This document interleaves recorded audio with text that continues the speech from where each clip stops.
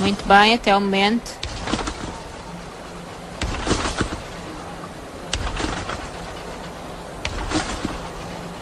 Boa altura. Muita estabilidade. E a controlar bem. Muito bem. Yuri Nikitin da Ucrânia. A deixar nervoso. Erik Stelik da Alemanha.